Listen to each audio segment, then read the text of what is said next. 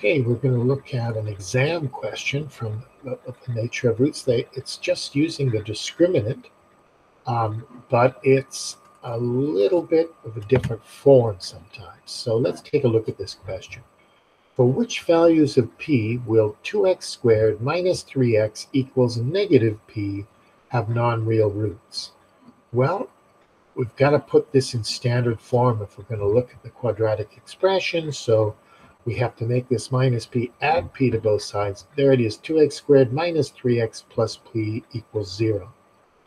Now, the nature of roots, when they say non-real, real, when they're asking about roots and they, they, they describe rational or anything like that, then you need to look at the discriminant, which is b squared minus 4ac. Well, if they say non-real roots, that b squared minus 4ac the discriminant must be less than zero, must be negative. So that's the inequality we've got to build. A is 2, B is minus 3, and C, your constant, is this P. So I go minus 3 squared, B squared minus 4A, which is 2, times C, which is P. Well, minus 3 squared is 9, minus 4 times 2 is minus 8P. Now I add 8P, so I have 8P is greater than 9. I just want to stop there for a second because I want to make sure you see that thing.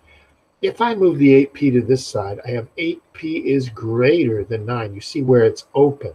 So I want to rewrite this thing because it's just nice to have the um, variables on the left.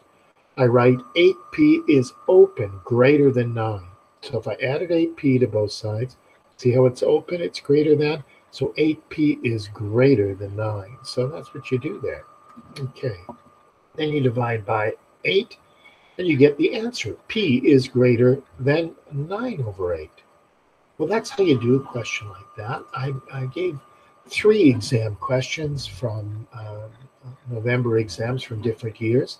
This isn't exactly a nature of roots question, but you have to think um, um, roots. I'll give you a hint, maybe. Uh, where you put two brackets and to get started, you know, two brackets, and um, they're asking about what the they give you one root, so they're giving you something in the bracket there, see, and but they're asking about the other root, and they're asking what, what, what m is.